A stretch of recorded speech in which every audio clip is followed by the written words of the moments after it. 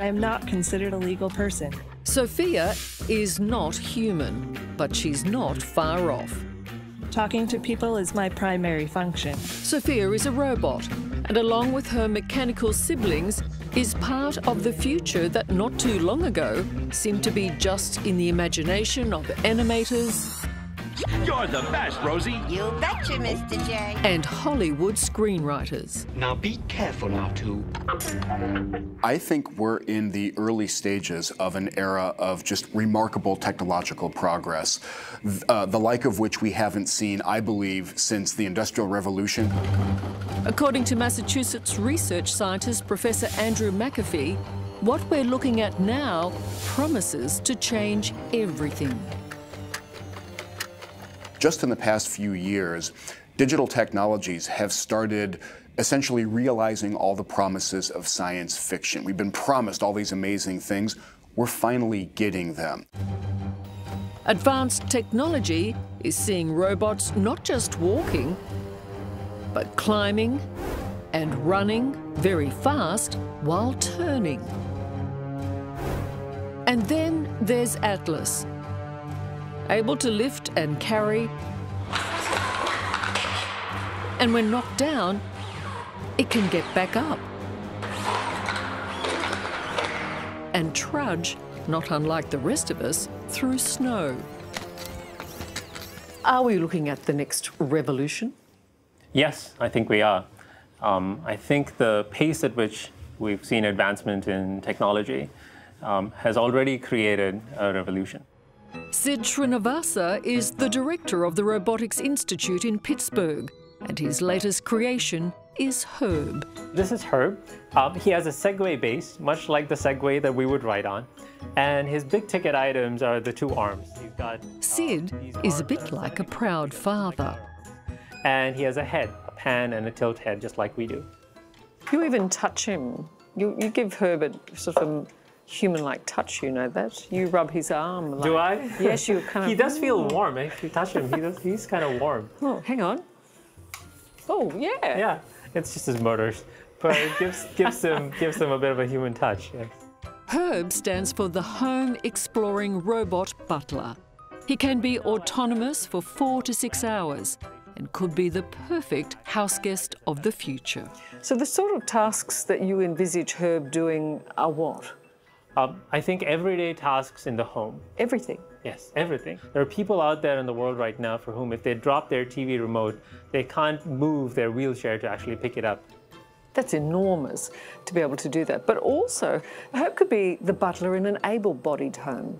Absolutely, yes. so actually, Herb could get you the beer. It could, it could. But getting Herb just this far has been no mean feat. So Herb is about to do something that we would take for granted, but is quite a lot of work. Absolutely. So Herb here is picking up that coffee mug and bringing it back to me. And, and this seems really easy and effortless to, to us people. But what he's doing is that he's completely autonomously planning all of his motions. Herb is now going to oh, be autonomous. Yes. And dare I say, like we mere humans, Herb doesn't always get it right. Herb's had one too many drinks. Yeah, really. when you're developing a robot, are you cognizant of a robot looking like a piece of machinery? Or do you err on the side of giving it some human-like quality? It's a great debate in robotics right now. Um, I am of the opinion that we should build functional capability. We should look at function and make sure that we build a robot that can satisfy that function. I can be a good partner to humans in these areas. Robots like Sophia may be more attractive, but her more mechanical, more brutish colleague Baxter is very functional. It's designed mostly for factory lines, but Baxter can also fold shirts, and even solve that infuriating Rubik's Cube puzzle. But the best bit is, Baxter works for the equivalent of $4 an hour, and never gets tired and never complains. So it's exciting times, but it's also potentially dangerous times. Yeah, this is a great time for us to think carefully about what kind of future we want to create. Do you think we can do that now? It's not gone too far? I think in the important ways we can. We can't put the technology genie back in the bottle. So we can't halt the tide of technology, but we can say what kind of society do we want to create? Professor McAfee is looking at the impact digital technology is having on the economy, and he sees some serious challenges ahead. Have we put ourselves out of a job then? Not yet. While we are living in this era of, I believe, crazy tech progress, the robots are not about to put us all out of work next month, next year. But it does force us all to rethink how we want to work and how we find our next job. I think that's exactly right. And I think that exact challenge is not going to lessen in the years to come. I think it's going to become more acute because it's not just one suite of technologies that, that's appearing.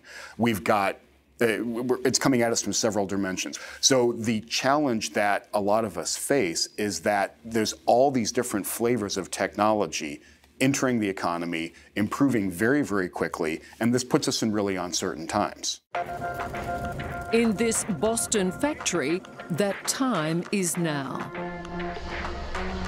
Meet LocusBot, a robot that quietly and independently rolls around this massive factory floor fulfilling online retail orders.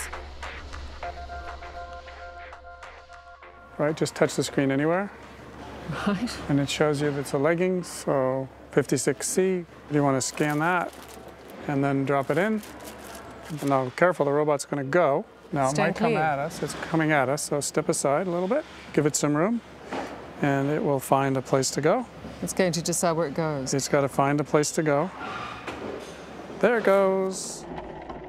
It saves workers walking 25 kilometres a day. But boss Bruce Welty says it's not about replacing humans, but having bots and bodies side by side. The bottom line, though, is a sobering reality.